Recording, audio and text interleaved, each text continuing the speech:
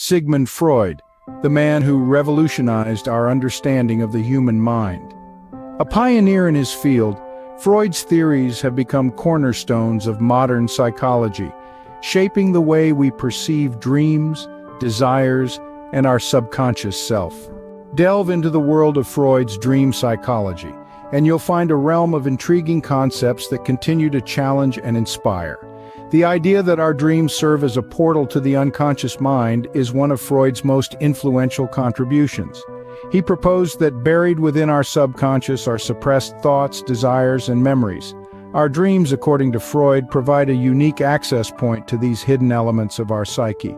Freud also introduced the concept of symbolism in dreams, suggesting that our dreams communicate with us through a complex language of symbols. Everyday objects, familiar faces, and commonplace scenarios can all take on new hidden meanings in our dreams. This symbolic language, Freud believed,